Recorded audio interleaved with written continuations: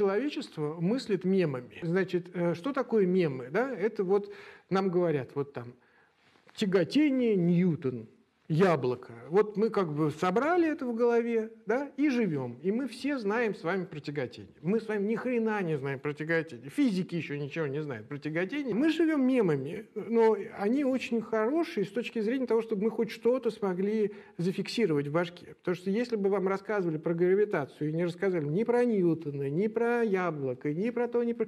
Если бы не использовали образы, если не использовали метафоры там, и так далее, мы бы ничего не усвоили. Да?